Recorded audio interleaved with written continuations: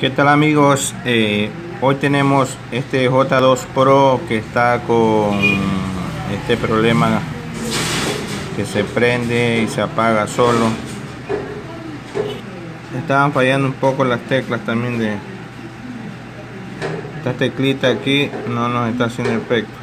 El problema es que tampoco bloquea y se bloquea nuevamente se vuelve a prender y bueno está como loco después de una caída me dijo el, cliente que ha quedado. Entonces vamos a ver qué podemos hacer por, este teléfono.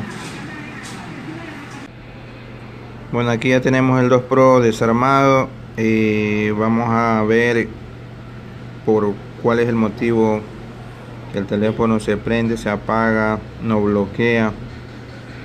Entonces a la vista eh, estoy, estoy viendo, valga la redundancia, que el teléfono se ha mojado. Aquí está. Tiene bastante sulfato toda esta zona.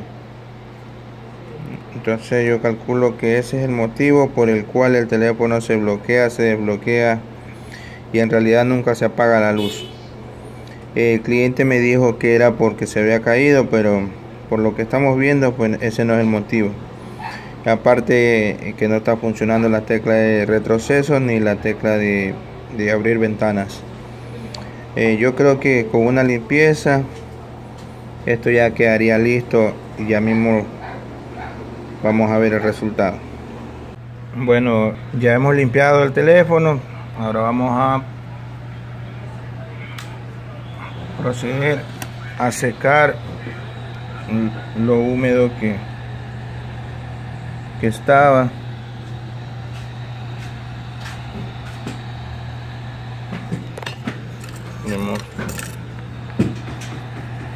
Roberto, ¿cómo has pasado Roberto? Todo bien. Bueno señores, aquí tenemos ya el teléfono armado.